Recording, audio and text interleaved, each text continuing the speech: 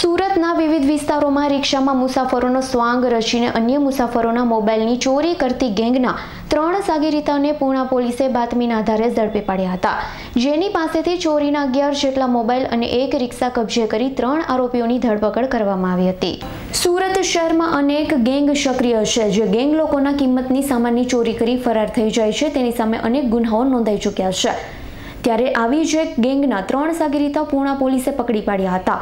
સુરતની પૂણા પોલીસે બાતમીના આધારે રિક્ષામાં મુસાફરો બનીને અન્ય મુસાફરોની સામાનની ચોરી કરતા ત્રણ ઇસમોને ઝડપી પાડ્યા હતા. પકડાઈ ગયેલા ત્રણ આરોપીઓ સુરતના વિવિધ વિસ્તારોમાં ચોરી કરતા હતા. રિક્ષા ચાલક મુસાફર બની અન્ય મુસાફરોની નજર ચૂકવી કિંમતી મોબાઈલ ચોરીને ફરાર થઈ જતા હતા. પકડાયેલા આરોપી પાસેથી અગિયાર જેટલા ચોરીના મોબાઈલ ફોન કબજે કરવામાં આવ્યા હતા. એક રિક્ષા પણ ગુનાના કામે કબજે લેવામાં આવી હતી.